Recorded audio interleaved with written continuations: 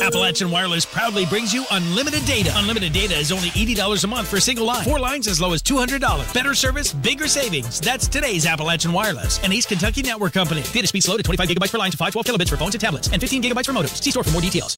No justice in West Virginia. No justice in West Virginia. No justice in West Virginia. All 55 counties in West Virginia were united Thursday as school was called off due to a planned two day walkout by the state's teachers. Thousands of teachers and school service personnel stood in solidarity at the Capitol and local courthouses, ignoring a threat of legal action by the state attorney general to show their outrage over pay, health insurance, and other issues. Our children are missing time today too that they so desperately need.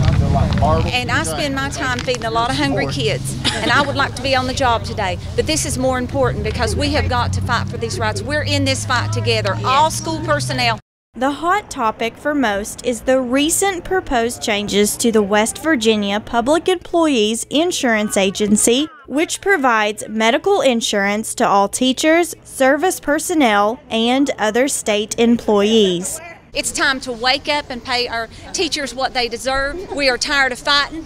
And of course, they've used this term over and over. They keep kicking the can down the road. It's time to crush that can and get us the benefits that we need. I'm a school cook. We're the lowest paid in the state. You hand me a 60 40 insurance plan, and I can't live. The proposed changes would also eliminate seniority. Wednesday, lawmakers approved a two year pay raise of 2% the first year and 1% the second.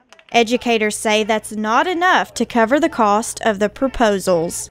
I've not heard one lawmaker say that they'll take a pay cut to give us a surplus on our benefits. I'd like to hear somebody say that. I'd like for Jim Justice to pay his taxes so that we can have a surplus. The work stoppage is also scheduled to continue tomorrow. In Williamson, Shelby Porter, EKB News.